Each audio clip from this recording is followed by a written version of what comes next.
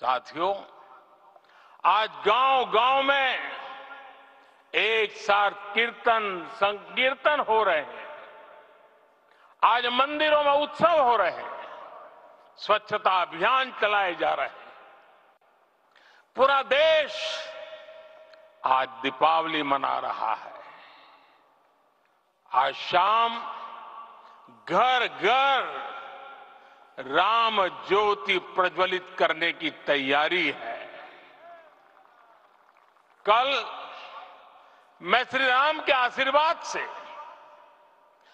धनोष कोड़ी में राम सेतु के आरंभ बिंदु अरिचल मुनाई पर था, जिस घड़ी प्रभु राम समुद्र पार करने निकले थे वो एक पल था जिसने काल चक्र को बदला था। उस भावमय पल को महसूस करने का मेरा ये विनम्र प्रयास था। वहाँ पर मैंने पुष्प वंदना की। वहाँ मेरे भीतर एक विश्वास जगा कि जैसे उस समय काल चक्र बदला था, उसी तरह अब काल चक्र फिर बदलेगा और शुभ दिशा में बढ़ेगा। अपने 11 दिन के व्रत अनुष्ठान के दौरान मैंने उन स्थानों का चरण स्पर्श करने का प्रयास किया, जहाँ प्रभु राम के चरण पड़े थे।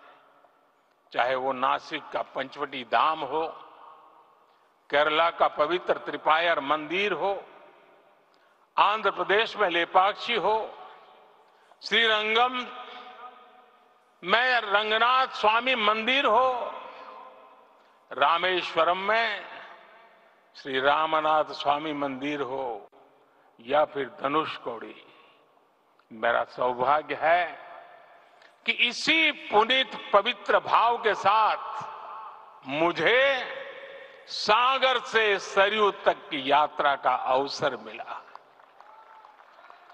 सागर से सरयू तक हर जगह राम नाम का वही उत्सव भाव छाया हुआ है। प्रभु राम तो भारत की आत्मा के कण कण से जुड़े हुए राम, भारतवासियों के अंतर मन में विराजे हुए हैं। हम भारत में कहीं भी किसी की अंतरात्मा को छुएँगे तो इस एकत्व की अनुभूति होगी और यही भाव सब जगह मिलेगा। इससे उत्कृष्ट, इससे अधिक देश को समायोजित करने वाला सूत्र और क्या हो सकता है? मेरे प्यारे देशवासियों, मुझे देश के कोने कोने में अलग अलग भाषाओं में रामायण सुनने का अवसर मिला है। लेकिन विशेषकर पिछले 11 दिनों में रामायण अलग अलग भाषा में, अलग राज्यों से मुझे विशेष रूप से सुनने का मौका मिला। राम को परिभाषित करते हुए ऋषियों ने कहा है, रमनते यस्मिन इति राम। अर्थात, जिसमें रम जाए, वही राम है। राम